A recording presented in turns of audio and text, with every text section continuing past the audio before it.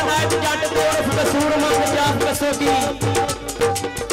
ਆਪਣੀ ਕਿਤਾਬ ਸੁੱਚੇ ਮੋਤੀ ਲੈ ਵਿੱਚ ਸੁੱਚੀਆਂ ਤੇ ਸੱਚੀਆਂ ਗੱਲਾਂ